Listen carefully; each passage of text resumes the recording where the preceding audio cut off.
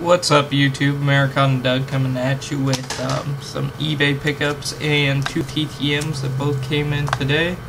Start off with the eBay pickups. Picked up this uh, Jeremy Hellickson, um, Allen and Ginter um, mini auto. And then also got two cards in a lot.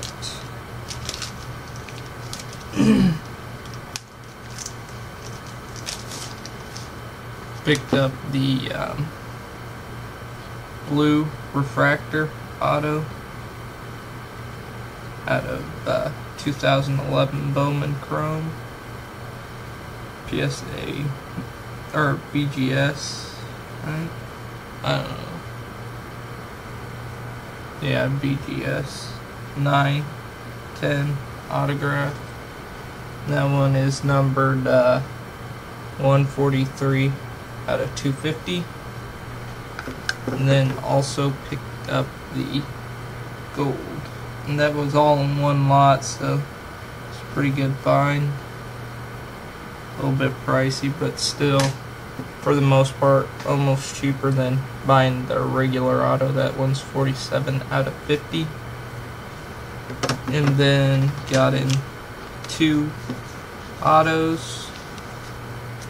First one, can't tell where it's coming out of, but it's one of my older stamps, one of the Pixar stamps.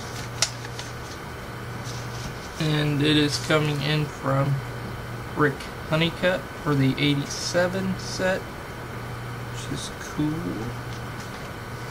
And then this one coming in from Tampa, Florida two signing two two.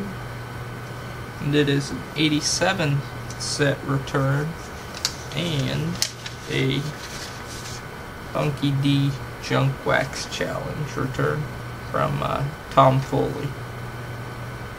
So very cool there to get both those cards in, which will put me at four for the Funky D Challenge. Um, I haven't watched too many videos this week or last week after the update video, so I don't know if anybody else has gotten more in.